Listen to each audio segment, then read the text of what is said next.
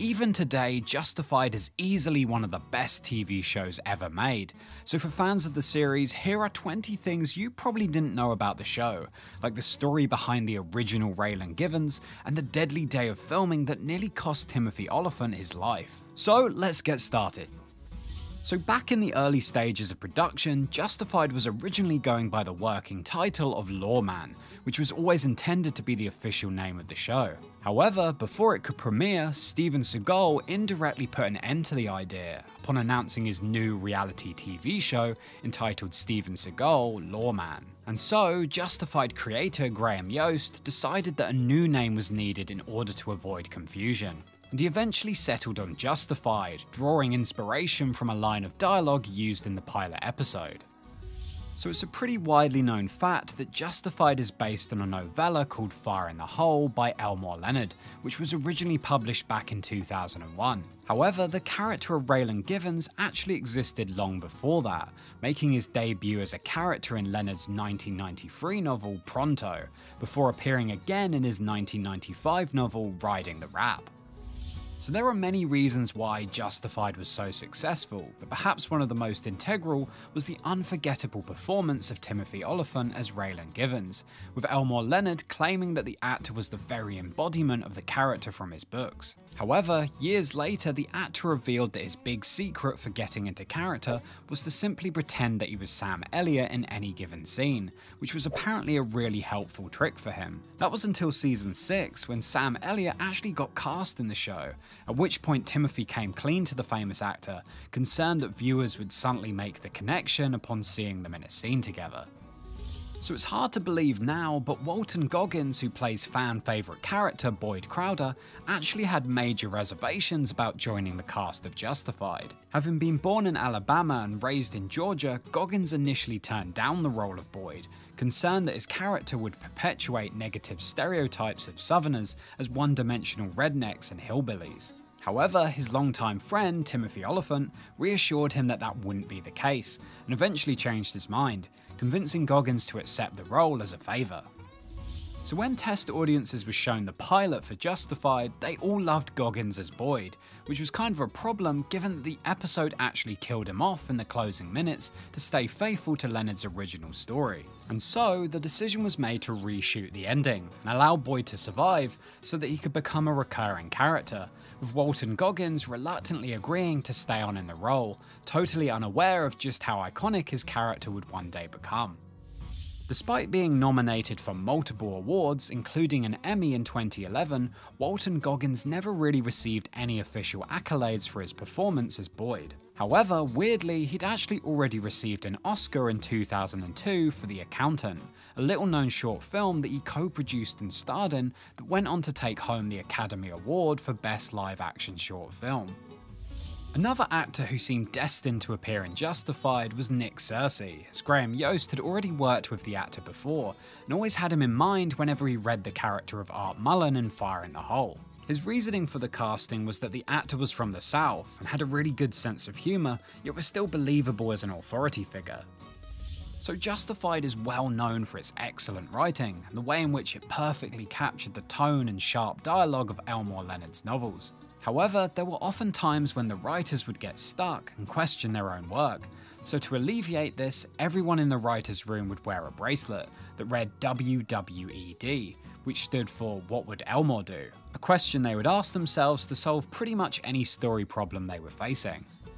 Another reason the writing on Justified was so good was because of an unusual policy the writers had on set with the actors. Because regardless of how big or small the role was, actors on set were encouraged to push back against the script and voice any suggestions or changes they might have to improve their characters. At which point, the crew would stop filming to discuss it and see if there was any room for improvement in the script.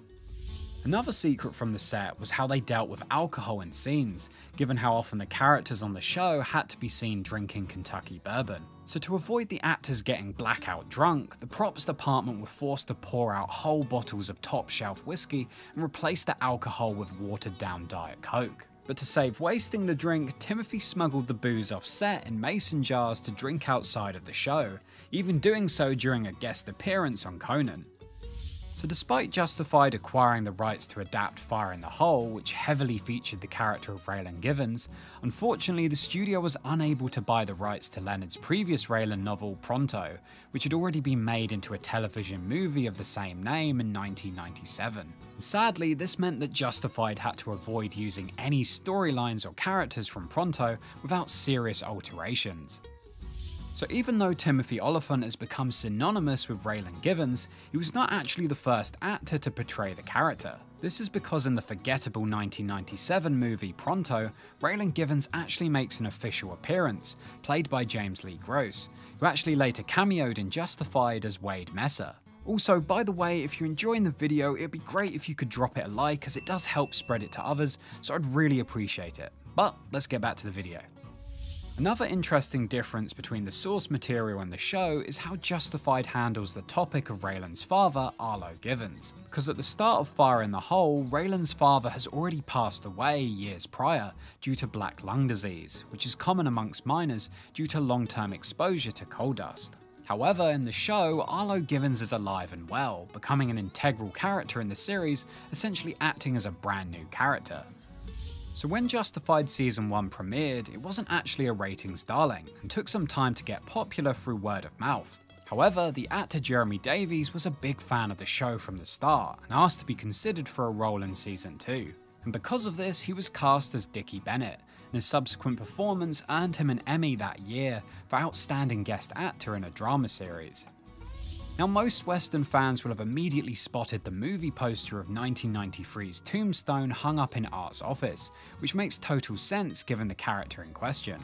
However, it makes a whole lot less sense by season 6, when Tombstone star Sam Elliott was cast in the show as Avery. But perhaps in an effort to hide the distracting connection, Elliott appears in the show without the iconic moustache that he's often recognised for.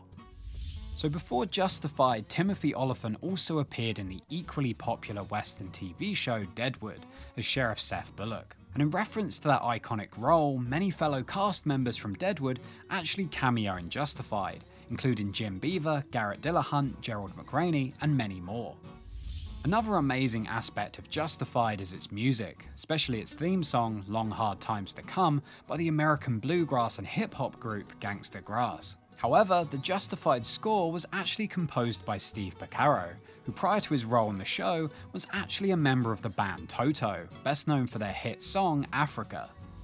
As a cool touch in Justified City Primeval, Raylan's teenage daughter Willa is actually played by Timothy's real life daughter Vivian, who apparently spent a lot of her first day on set dispelling the badass persona her father had spent years creating, much to her dad's annoyance. But while filming City Primeval, there was actually a really serious life threatening incident behind the scenes, in which two cars crashed straight through the set, while the drivers opened fire on each other with machine guns, firing well over 100 rounds in the process. And so, the cast were forced to take cover. Timothy reportedly pushed a member of the crew to safety, most likely saving her life, and essentially embodying the character of Raylan. So Justified City Primeval is actually based on another book of Leonard's of the same name, published in 1980, which tells the story of a psychotic outlaw called the Oklahoma Wildman, who goes on a chaotic rampage through Detroit. And for a long time, the story had been admired by many famous directors who'd hoped to adapt it into a movie, including Sam Peckinpah and Quentin Tarantino, who was actually the one who gave Timothy the idea of adapting the book into a justified spin off while chatting on the set of Once Upon a Time in Hollywood. But now that the show's finally out, let me know below what do you think of City Primeval? And if you're a fan of Justified, you might also want to check out this video here where I rank every season of the show so far.